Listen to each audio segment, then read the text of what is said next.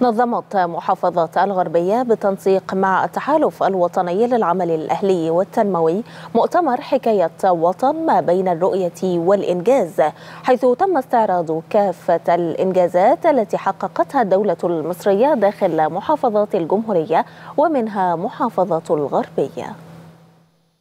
إحنا النهارده يعني حكينا حكاية وطن وقلنا للناس كنا كنا فين سنة لحد سنة 2014 والنهارده أصبحنا فين سنة 23 إنجازات تحققت على أرض الواقع.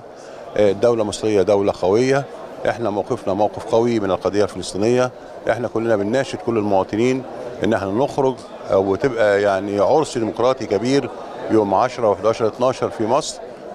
كلنا نقول نعم لقيادتنا ونعم لرئيسنا وإحنا كلنا خلفه في هذه المرحلة الغاية في الأهمية. لابد إن كل المواطنين يفتخروا بقصة هذا الوطن العظيم اللي بدأت من 2011 إلى الآن. لازم نفتخر ونكون فخورين بحجم الإنجازات اللي حققتها الدولة المصرية رغم كافة التحديات اللي واجهتها منذ هذه الفترة. الإرهاب والإجرام اللي شفناه من جماعات كانت تتاجر بالدين بالدين وبالإسلام. الحقيقة لابد أن إحنا شبابنا يكون على وعي كامل بكل هذه التحديات اللي واجهناها خلال هذه السنوات. وحجم الإنجازات مش بس في التعليم ولا في الصحة في كل في كل مجالات الحياة. حكاية وطن في في القاهرة كان مؤتمر ناجح جدا.